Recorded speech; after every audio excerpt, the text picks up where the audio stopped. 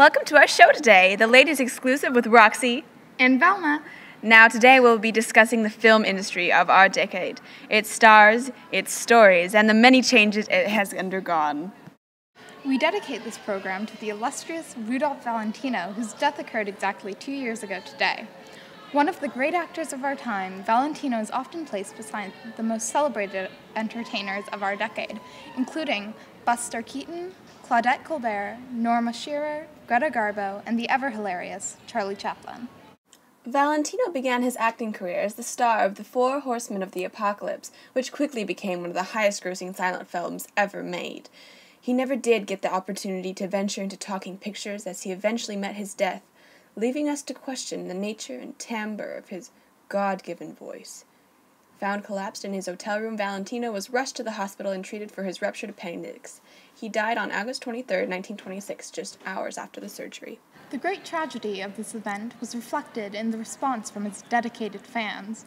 Over 100,000 people gathered. The line to pass his coffin covered blocks, and the procession lasted days. The Polish actress, Pola Negri, who had who'd been having an affair with Valentino, fainted over his coffin. Women in distress took their own lives, unable to deal with the loss of his. Valentino's body traveled to the West Coast on a funeral train, and he was buried in Hollywood. Never has such dedication been seen for a celebrity.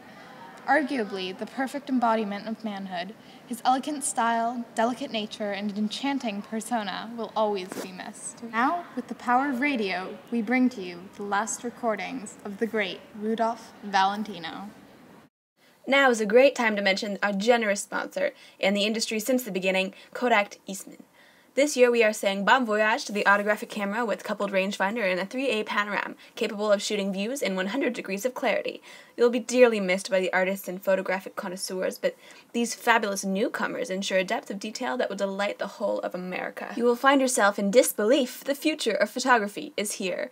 With the Pocket Kodak special cameras, capturing those swinging nights in Harlem with the gals, or just snapping one of a handsome fellow, will be as easy as reaching into your purse for a light. Yes, ladies, the pocket camera folds up and is as compact as your compact. Not to mention, this Series 2 pocket camera comes in four different colors using 130mm film. So forget fitting your purse, it will match your outfit as well for only $25. And if you dream of the Series 1 but have a more conservative budget, have no worries, for you can purchase this 116mm $70 artistic tool in a series of seven $10 installments. And if these sound like luxury, you won't believe the next model, the Kodak Vanity. $30 using 127mm film and with matching case comes in an assembly with a $10 discount, which includes Richard Hudnut lipstick, compact mirror, and change pocket. This also comes in a variety of colors beige, gray, and green. Speaking of photographs, let's focus again on film and the humble beginnings from which our nation's lover, Valentino, could appear to us all in a moving picture. From the very conception of film, Daguerre and earlier plate exposures, the concept of mimicking reality has been a motive worthy of a century of thinkers. Beginning across the Atlantic and with Germany's perfection of the 35mm camera just three years past, photojournalism began giving us narrative, emotion, and story to pictures. Americans like Edison, Kodak, and Eastman have become the iconic figures in the history of the photograph, elevating this process to be accessible to the masses. Eventually, projectors refined with sewing machine mechanisms to make the spools run smoothly broadcasted this medium to the masses again. Lumiere frightened audiences with a train, a simple train that seemed too real to be anything else. Just 14 years ago, in 1914, was the first ever feature length film, Tillie's Punctured Romance, and introduced the splendid comedic actor Charlie Chaplin to the nation. But just last year, the Vitaphone, GE's Phonophone, and William Fox's Movietone have expanded our world once again with the luxury of sound in film, leading us to the creation of Lights of New York, which will be the landmark feature with a complete incorporation of sound throughout. It premieres this year. From silence to talkies, the American can experience the wider person of a character, though not terribly beneficial to our good friend John Gilbert, who sounds disappointingly similar to the voices of his female fans. However, Greta Garbo's exotic accent proves the possibilities for the evolved medium we all love, and these recent strides in entertainment and art foreshadow a greater future for film. Who knows, maybe we will eventually see color film. But take it from Al Jolson, as he said in the first talkie, Don Juan. Wait a minute, you ain't seen nothing yet. Now, film and the city. Moviegoing is not exclusive to city life. In fact, nearly every small town now has its own theater, and more and more are being built in rural areas every day. So, what gives the movie industry and metropolis life such a strong association?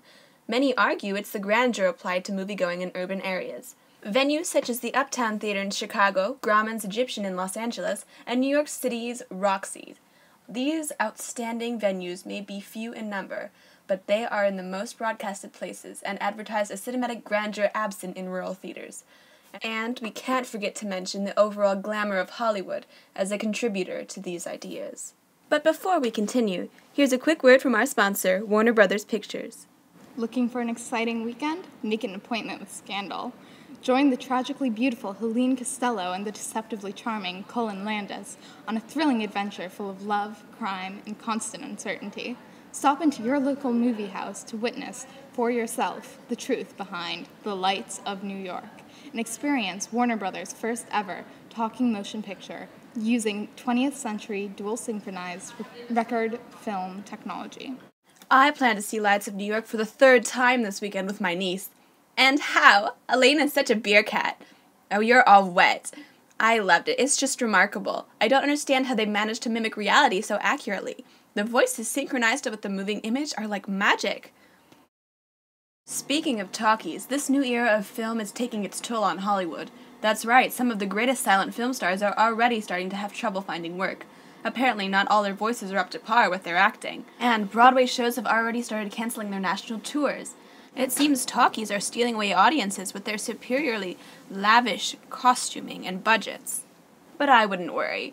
Multiple critics I've been hearing express their opinions that talkies are just going to be a trend and that the language barrier will be the downfall. So while some horizons expand, others diminish. This may be the last Warner Brothers film where they're free to express whatever they want.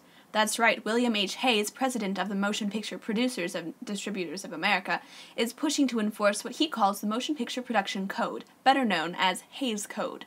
The establishment of this code would restrict film in its ability to challenge conventional norms, display sexual behavior, innuendo, and interactions with alcohol, although it would ensure safe content for children. It is currently being discussed by a committee of studio executives. As it stands now, I can tell you I don't think William Wellman will be very happy. Yes, and Oscar Micheaux. For those of you who don't know, Oscar Micheaux is one of the most progressive filmmakers of our time, being one of the only black filmmakers out there. His film Body and Soul was widely ridiculed for its negative portrayal of the clergy in the face of widespread Christian fundamentalism and evangelical preachers. His boldness in the release of this film has labeled him among the more controversial of filmmakers. Well, we'll let you think on that the next time you go to the movie house. Join us next week for an exclusive interview with Mama Morrison, warden of the local women's prison, for an inside scoop on the development of the Kelly Hart scandals. A quick thank you to our sponsors, Kodak Eastman, Eastman and Warner Brothers Industry, for their support and contribution to the arts. Until next time, this is Velma and Roxy.